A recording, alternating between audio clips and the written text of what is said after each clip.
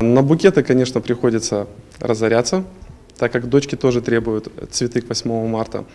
И эти праздники мы стараемся проводить с семьей. У нас очень шумно. А, Конечно, а, мужчин в семье не очень хватает, но я справляюсь с этой ролью. Конечно, подарю цветы а, жене, дочке, бабушке, маме своей, теще.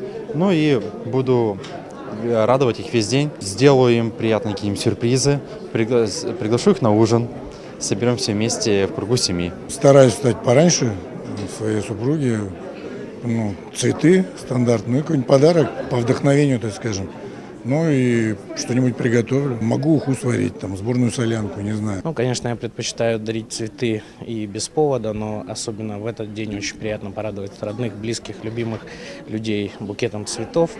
А Далее это поход в кафе либо в ресторан, чтобы убрать, э, так скажем, лишние хлопоты с плеч наших женщин.